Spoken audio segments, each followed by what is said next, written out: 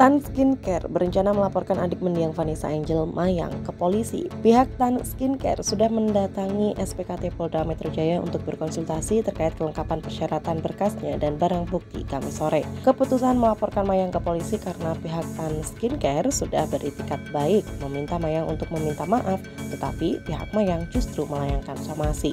Menurutnya, tuduhan yang dilayangkan pihak Mayang tidak mendasar. Review dari Mayang menyebabkan kerugian pihak Tan Skincare hingga ratusan juta rupiah. DM-DM hujatan ya kepada Tan Skin dan kepada saya langsung. Tapi yang diklaim sama Mayang sendiri itu benar nggak? Jadi seperti yang sudah saya jelaskan kan sebenarnya kalau pakai skincare itu ada yang namanya purging, ada yang namanya breakout. Itu sudah kita share juga di Instagramnya Tan Skin. Kalau misalnya purging itu kulit butuh adaptasi sama skincare-nya, tapi nggak mungkin dalam waktu hitungan jam. Kecuali alergi makanan itu mungkin dalam waktu hitungan jam. Gitu. Jadi nggak benar ya maksudnya reviewnya Mayang itu sendiri. Eh, kalau menurut saya sih reviewnya nggak make sense sih.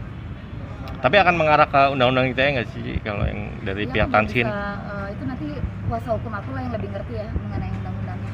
Kemarin Mayang sempat bilang kan itu hanya review konsumen, jadi pendapatnya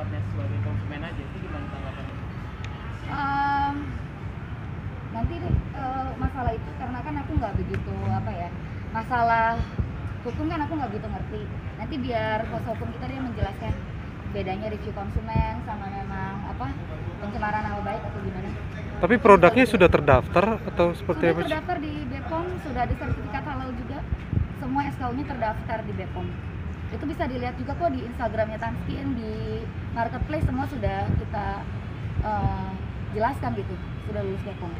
Tapi awalnya seperti apa sih Ci akhirnya merekrut eh, Mayang untuk menjadi namanya, brand ambassador atau apa?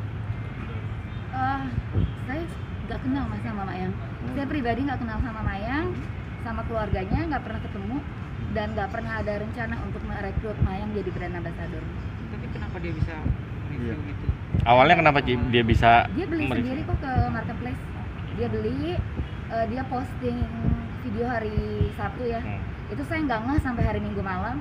Akhirnya hari Senin kan kantor tutup hari Senin baru bisa cek. Ternyata benar ada pembelian atas nama saudari Mayang Tapi sebelumnya ada konsultasi dulu nggak sih? Biasanya kan kalau mau beli sesuatu Konsultasi dokter. apalagi eh, apa eh, kosmetik ya.